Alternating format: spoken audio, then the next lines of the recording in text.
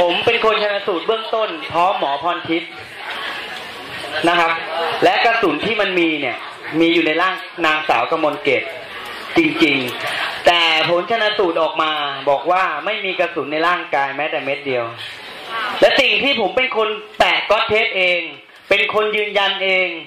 ก็มีครับและหมอพรทิพย์ก็พูดเองว่าไอ้น้องเอาก๊อตเทปมาปิดตรงนี้ แล้วผมก็เป็นคนทำเอง เพ ราะผมอยู่เฝ้าศพทั้งคืนครับ ไม่เคยทิ้งไปไหน เพราะคนที่ตายคือเพื่อนพ้องพี่น้องของผมทั้งนั้น ผมมีทุกภาพแล้วในวัดไม่ต้องกลัว เป็นสิ่งที่ผมต้องเก็บไว้เป็นหลักฐานเพื่อความยุติธรรมค่ะขอเชิญถามปณีก่อนค่ะค่ะก่อนอื่นนะคะก็ก็อยากจะย้อนกลับมานิดนึงว่าวันนี้ก็เวทีเนี้ยเป็นการให้พวกเรานักข่าวเนี่ยมาพูดคุยกันในหัวข้อว่านัก ข่าวเล่าให้ฟังจากราชดำเนินถึงราชประสงค์ คือแน่นอนนักข่าวทุกคนก็สิ่งที่ตั้งใจอยากจะมาพูดคุยในวันนี้ก็อย่างน้อย ได้มาเล่าสู่กันฟังเกี่ยวกับเรื่องประสบการณ์การทำหน้าที่ของเรานะใน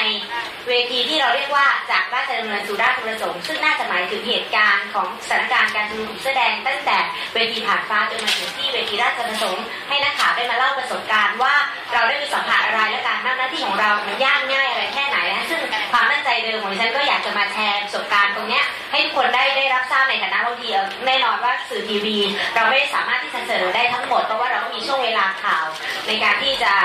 เวลาในการจำกัดในการทำหน้าที่แล้วก็ด้วยปัจจัยหลาย ๆ อย่าง ที่อยากจะมาแลกเปลี่ยนกันฟังว่า การทำหน้าที่ของเราในสถานการณ์ที่ผ่านมา มีเงื่อนไขอะไรบ้างที่เราทำงานอย่างยากลำบาก แล้วมันมีเงื่อนไขอะไรบ้างที่ทำให้เราเนี่ยถูกตั้งคำถามจากสังคมว่า สื่อเป็นกลางหรือไม่สื่อมีจริยธรรมรวมถึงสิ่งที่คุณลุงบอกว่า สื่อมีจรรยาบรรณหรือไม่ทำไมสื่อถึงพูดความจริงได้ไม่ทั้งหมดนั่นคือเป้าหมายจุดประสงค์ของดิฉันที่อยากจะมาแลกเปลี่ยนความคิดกันในวันนี้นะคะแต่ว่าแน่นอนค่ะ ในสถานการณ์ทางการเมืองในปัจจุบันของเราเรายอมรับว่าทุกคนประชาชนในประเทศเราเนี่ยมีความคิดเห็นทางการเมืองที่แตกแยกกันอย่างรุนแรงและ แตกแยกกันจนที่เราไม่รู้ว่าจะมีทางที่จะมาเข้าใจกันได้อย่างไร ซึ่งตรงนี้คือปัญหาการเมืองที่ต้องพูดกันยาว ต้องพูดแล้วก็ต้องช่วยกันคิด ต้องช่วยกันวิเคราะห์เป็นเรื่องยาวที่เราคุยกันคงไม่สามารถที่จะมาคุยหรือหาข้อสรุป หรือให้คำตอบในเวทีได้ได้ทั้งหมดนะคะดังนั้นฉันก็รับฟังยอมรับความคิดเห็นของทุกท่านที่ที่แลกเปลี่ยนกัน แล้วก็เรื่องของคำถามที่นำเสนอกันมา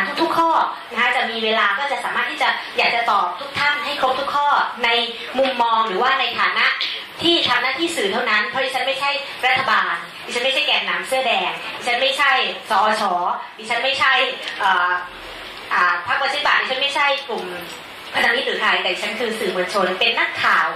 เรียกว่าเป็นนักข่าวเท่านั้นนะคะที่ทำหน้าที่อยู่ในภาคสนาม ไปสัมผัสเหตุการณ์จริง แล้วนำเสนอในพื้นที่ที่เรามีนั่นคือพื้นที่ข่าวทางโทรทัศน์ หรือแม้กระทั่ง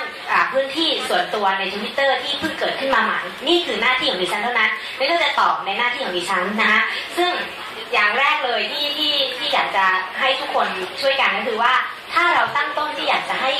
ความปรองดอง หรือเกิดอะไรก็ตามในสังคมที่เราบอกอยากได้ความชอบธรรมหรือความยุติธรรมสิ่งสำคัญเลยว่าหนึ่งเราต้องเริ่มต้นพูดคุยกันด้วยคำว่าปราศจากอคติทางการเมือง ต้องยอมรับในข้อเท็จจริง ต้องยอมรับในความคิดเห็นของทุกๆคน เช่นเดียวกันเมื่ออกลุ่มผู้สื่อข่าวเรามาตรงหน้าตรงนี้ทุกคนมันก็เป็นความยากลำบากอยู่แล้ว ที่เราจะต้องมาพูดในที่สาธารณะเพราะว่าแน่นอนในการทำหน้าที่ของเรากับในอีกแง่มุมหนึ่งซึ่งซึ่งสิ่งที่คุณลุงบอกว่าทำไมอะ พูดในเวทีนี้แล้วพอทีเสนอข่าวไม่เห็นเหมือนกัน เพราะว่าในบางมุมเราบางเรื่องเราไม่สามารถนำเสนอได้ ซึ่งมันก็มีข้อจำกัดของมัน ไม่ใช่ว่าเราไม่มีจรรยาบรรณดิฉันมั่นใจได้ว่านักข่าวทุกคนเนี่ยเกิดมาเป็นนักข่าว กล้าที่จะเข้าไปอยู่ในเหตุการณ์ตรงนั้นชีวิตที่เสี่ยงภัยโดยไม่รู้วันหนึ่งเนี่ยเรากลับบ้านไปเนี่ยจะมีชีวิตรอดกลับไปหาครอบครัวของเราหรือไม่เนี่ยทุกคนทำหน้าที่ตรงนั้นเพราะอะไรนั่นคือใจของการทำงาน การทุ่มเทในการที่ทำงานตั้งใจที่จะทำข่าวนำข้อเสนอข้อเท็จจริงที่เราเห็นเนี่ยออกสู่สาธารณะได้มากที่สุด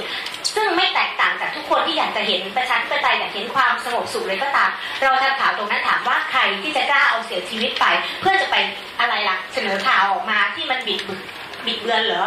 จะตายอยู่เนี่ยถูกยิงเนี่ย แล้วเราอยากจะให้มันอะไรเลวที่เลวร้าย หรือจะอยากให้สังคมมันแย่เหรอ ทุกคนอยากให้สังคมมันดีทั้งนั้น ดังนั้น การพูดคุยกันก็อยากให้ทุกคนเปิดใจ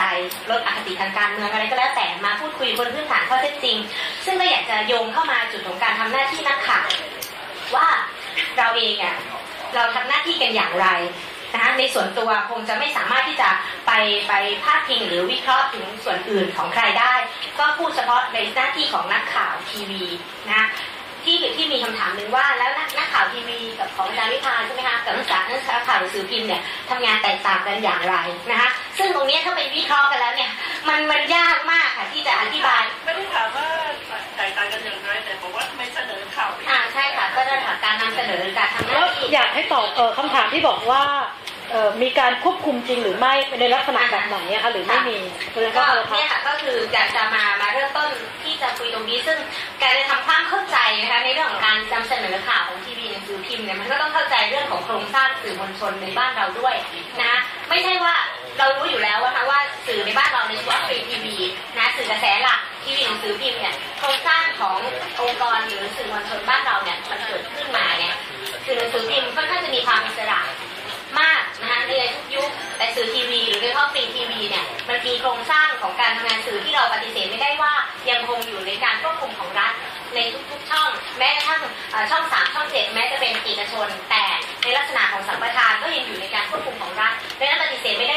สื่อทีวีเนี่ยก็ยังคงอยู่ในการควบคุมของรัฐเกือบทุกช่องดังนั้นจึงเป็นจุดเริ่มต้นหรือกำเนิดของการมีสื่ออ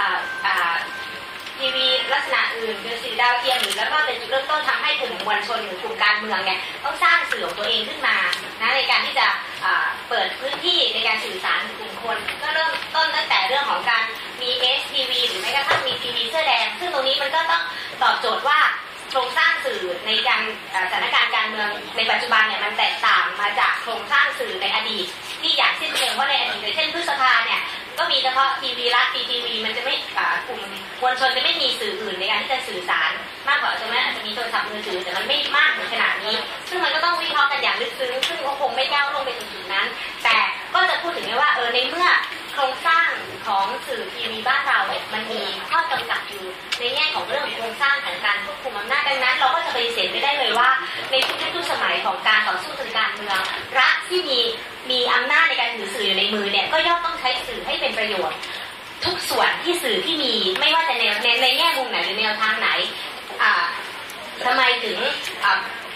เราก็ปฏิเสธไม่ได้ว่ารัฐซึ่งเขาเขามีอำนาจตรงเนี้ยเขาก็สักสอชสามารถที่จะออกออกทีวีภูได้ทุกช่วงเวลาได้เวลาไม่จำกัดในการแถลงข่าวแต่ขณะเดียวกันมันก็ยิ่งทำให้เกิดความรู้สึกว่าอ่าในในขณะเดียวกันสื่อข่าวของเสื้อแดง ก็ต้องถูกแทรกแซงถูกบล็อกก็ไม่ได้แตกต่างกับสมัยที่กลุ่มพันธมิตรชุมนุมซึ่งก็มีการให้พยายามบอกให้นำเสนอข่าวเสื้อเสื้อเหลืองน้อย หรือแม้กระทั่งยุคของคอมชก็ต้องมีการร้องขอไม่ให้เอาเสนอภาพของคุณทักษิณไม่ให้เสนอภาพเสื้อกลุ่มนปกรในยุคนั้น ซึ่งนี่คือธรรมชาติการเมืองบ้านเรา และธรรมชาติของการใช้อำนาจของรัฐกับสื่อในบ้านเราที่ ที่มันมีมาทุกยุคทุกสมัย ซึ่งดิฉันก็เชื่อมั่นว่าทุกท่านในที่ผ่านสถานการณ์มาก็ย่อมจะเห็นสภาพปัญหานี้อยู่แล้วดังนั้นก็ไม่ได้เหมือนไม่ได้แตกต่างจากในครั้งนี้ ที่เราเองก็ต้องทำงานอยู่ภายใต้โครงสร้างแบบนี้นะคะและก็ต้องกลับย้อนกลับมาอีกว่าอ้าวแล้วทำไมนักข่าวเนี่ยคุณยอมรับการแทรกแซงสิคุณยอมทำงานภายใต้อำนาจหรือต่างๆดิฉันเชื่อมั่นว่าทุกคนเนี่ยไม่ปฏิเสธตรงนี้ ทุกคนมีจุดยืนในการทำหน้าที่ของเรา ทุกคนอยากขอใช้วิจารณญาณในการทำหน้าที่ของเรา ดิฉันเจอประสบการณ์ตรงแบบเนี้ยมาทุกยุคนะคะเพราะเพราะว่าอยู่สายการเมืองมาก่อน ก็จะรู้เลยว่ารัฐบาลอ่าประชาธิปัตย์จะมีวิธีการแทรกแซงอย่างไร รัฐบาลไทยรักไทยจะมีวิธีการแทรกแซงอย่างไร รัฐบาลท่านอ่าพลเอกสรยุทธ์ในยุคคอมชจะมีการแทรกแซงอย่างไร แม้กระทั่งยุคสอชจะมีการแทรกแซงเนี่ยเราปฏิเสธไม่ได้ว่ารัฐมีการแทรกแซงสื่อในช่วงการต่อสู้ทางการเมืองนะเราปฏิเสธไม่ได้แต่ สื่อจะดำรงการทำหน้าที่ของตัวเองอย่างไรแค่นั้น ซึ่งในสถานการณ์ปัจจุบันในที่เกิดขึ้นฉันก็ยืนยันว่าฉันก็ทำหน้าที่ของฉันได้ตามกำพักกำลัง หรือตามหน้าที่ที่ฉันมีอย่างดีที่สุดนะเพราะดิฉันก็ทุกครั้งที่มีการอบอกว่าห้ามใช้ภาพตรงนี้ห้ามใช้คำพูดแบบนี้ดิฉันบอกคุณก็ก็ต้องรับฟังแต่เราขอใช้วิจารณญาณของเราเองในการที่จะตัดสินได้ว่าคำพูดแบบไหนถ้าแบบไหนที่มันจะไม่นำไปสู่ ความรุนแรงหรือหรือซ้ำเติมสถานการณ์ขอใช้คำนี้นะคะนั่นไม่ใช่ว่าเราไม่รับผิดชอบนั่นคือดิฉันมองว่านั่นคือความรับผิดชอบอย่างหนึ่งของเรานะต่อต่อสถานการณ์บ้านเมือง เพียงแต่ว่าในแง่มุมไหนเท่านั้น ซึ่งพื้นฐานของดิฉันที่จะทำงานตรงเนี้ย